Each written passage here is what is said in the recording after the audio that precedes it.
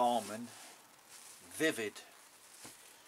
Garmin Striker Vivid 5CV. And it goes on this Viking Profish.